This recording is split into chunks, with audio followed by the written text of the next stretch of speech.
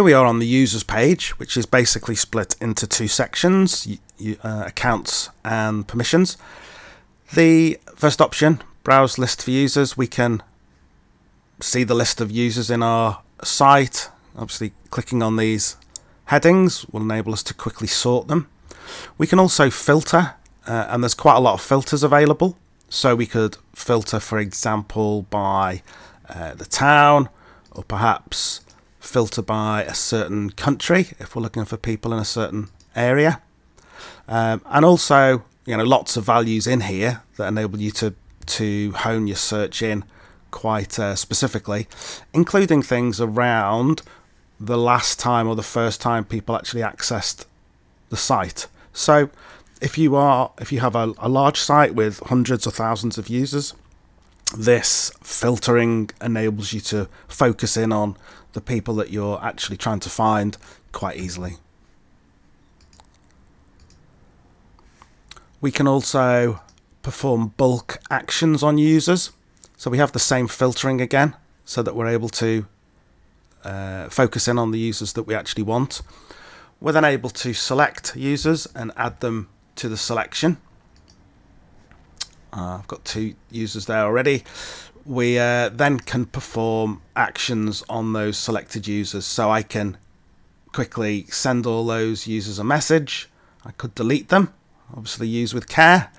Uh, I could force a password change for all those users if I feel there's been a security breach, for example. So bulk user actions uh, can be extremely handy in the uh, you know in the event that you need that sort of capability. We can of course add a new user manually, uh, just in the same way as you probably created your own administrator account, maybe all the required information for a, a new user. We do have default preferences as well. So for every user, they have their preferences pages, and this enables you to set up some of those preferences and as a default. And perhaps one of the ones that uh, a couple that probably worth mentioning. First of all, forum tracking. Um, if you switch this on, then it actually highlights the new posts in the forums for users, which if you have a forum driven site, you know, with active forums, then that's really useful. The other one that's probably useful is, uh, you know, almost essential really is here. If you have a very active site and you have new newer users to Moodle, then the default is that uh, for every message, for every post that's made in a forum, they'll receive an email message. And that can be quite overbearing in their inbox if they're not used to that. So if you change this to, for example, complete, then once a day we'll get a digest with all those posts in. And then, you know, you can obviously read through that email and perhaps click on the ones that you want to actually read. So perhaps a little less overbearing for users when, when they're in courses with highly active forums. We can also add profile fields. Um, here I've added a profile field for gender. Uh, we tend to deal with a lot of international clients, so sometimes we don't recognize whether a, a first name is male or female. So we've added a gender field, and um, if we just take a quick look at that, what we can see is that we've set up that the the field is required that it's displayed on the sign up page and that the options available are male or female. Um, it would probably be a good idea to specify a default value, which in this case I might just say unspecified at this stage. When people come to the sign up form, they'll actually see a field for gender and they'll have to select male or female from that. So you can use these profile fields in lots of different ways. You may have, uh, there are lots of options so that you could have, for example, a profile field which, um, if you have a, a, a multi-site campus, it would actually you would actually be able to say you know north region or south region or west region campuses whatever and that could be something that you actually filter by when you're dealing with users for example or cohorts so um, useful to think about. Is there any is there any extra information we want to capture on our on our profile fields? We have cohorts. Cohorts are kind of thought of as site level groups. So uh, an administrator can create a cohort or multiple cohorts uh, important to give them a clear description and then simply add members, assign members into that cohort. Now, the advantage of cohorts is that uh, cohorts can be enrolled within a course. So you may have a couple of courses and a teacher adds a cohort. That will then automatically add all the students in that cohort into that course.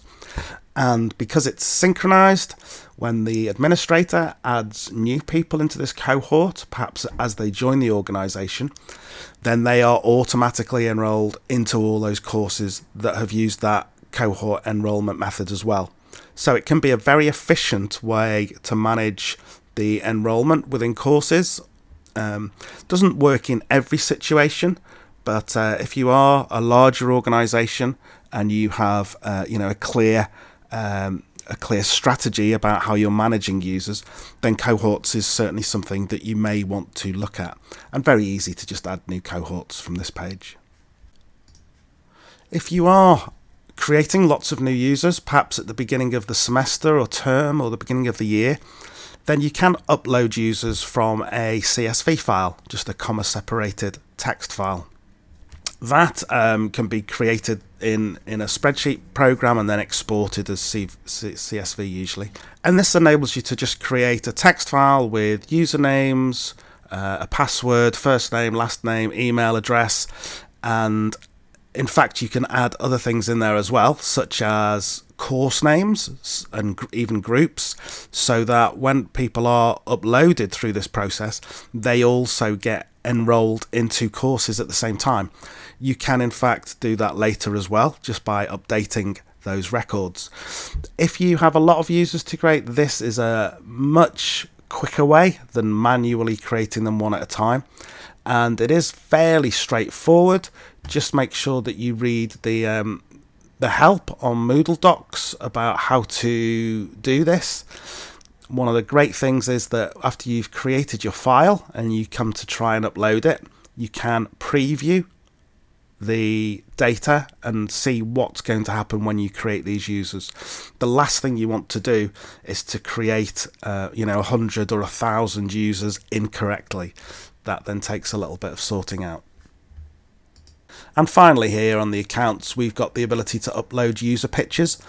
So I can imagine perhaps in a school where accounts have been created and then maybe we take photographs of the of the students, we can then quickly upload all these images and associate them with the correct user, uh, either by ID or username or, or ID number, so that we then have uh, control over the existing uh, images that are perhaps being used by students.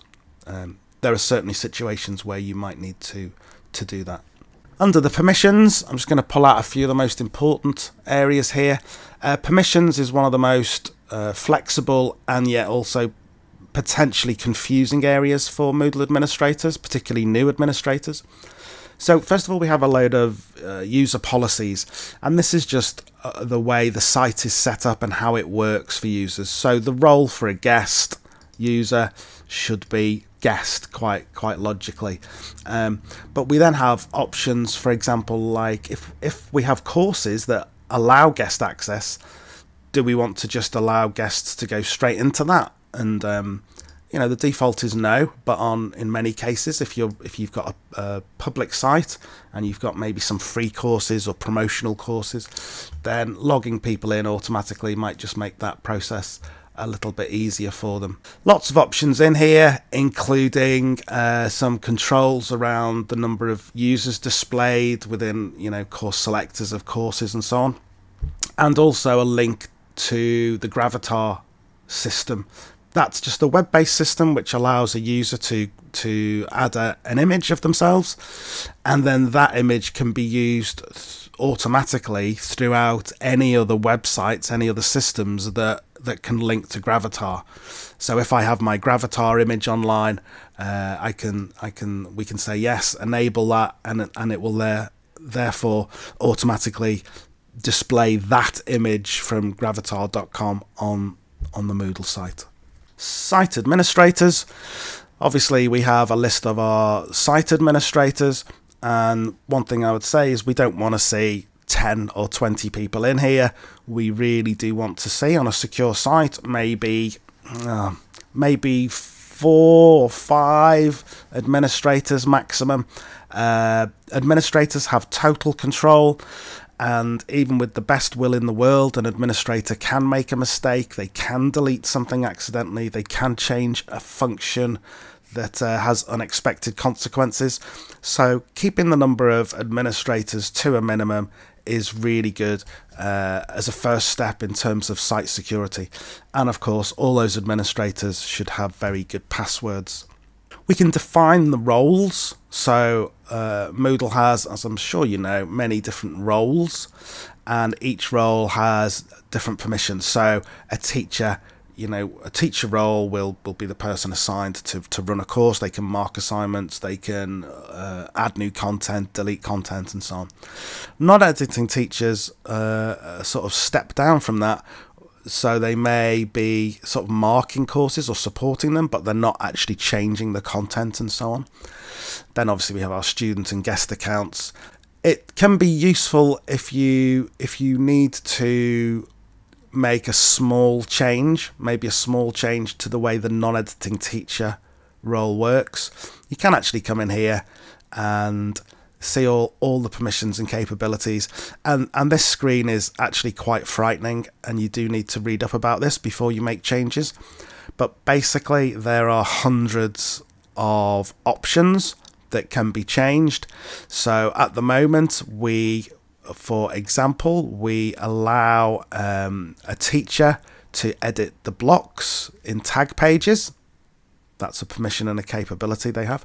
If I wanted to take that away, I would simply unclick this and save. And that's then for all non-editing teachers across the site. That's then made that change. Um, we do have to be extremely careful with these things. It's very easy to accidentally uh, give people too many permissions and there are some good little uh, sort of highlights to remind you that if you enable this, then there could be a risk associated with that. We can assign system roles, and this is probably one of the biggest mistakes we see with uh, Moodle sites and administrators, because anything you assign here is assigned throughout the site. So if I um, so we do see, for example, people add students at, at the system level, and that then means they're a student right across the site in every single course. Or, or we had a teacher here and suddenly they're a teacher in every single course. Um, that isn't the right way to do it. This really is a specific uh, function where you may need, for example, uh, an auditor, someone who can visit every single course, but maybe isn't interacting with them. Maybe they're just monitoring things. That would be a good use of a system-wide role, but uh, or a manager or a course creator, someone who can who can help the main administrator. But yeah, this isn't the place where we add teachers and students. We can check system permissions. So for a particular user, Sylvester here, we can show this user's permissions. And of course, they're a uh, authenticated user within the system and we'll be able to quickly see what they are allowed to do. And if you have a problem with, with someone saying, I, I think I should be able to do this and I can't, then this, this could be a place that you look just to double check that we haven't got some permissions issue. There's a capability overview as well. What we're able to do is look at different permissions and look at different users and now we can see the different permissions and who actually has permissions to do that. Not set, obviously not set, but usually, quite often in here, you might see allowed or yes or no. So this this can be useful just to give an overview or uh, in, perhaps investigate your settings to see whether there's something that, that you could alter to make life easier for people. We can assign user roles to cohorts. This isn't the same as assigning users to cohorts, this is assigning a role to cohorts. You may perhaps assign a mentor role or a parent role to a cohort. Um, it, it's an unusual thing to need to do. It's not something that most sites would would have to use. If you have a situation where you do want to to create some slightly unusual user context roles for cohorts, then this can be a way to do it. Worth reading up on the documentation about how that works. And then finally, any unsupported roles. This will usually only show information if, for example, you've imported a course or restored a course from one site to another and the other site had some roles that were highly customized that don't exist on the new site, or if it was from a very old Moodle site and you're restoring this course into this new Moodle site, uh, those old rules roles may no longer exist, and this just flags that up for you.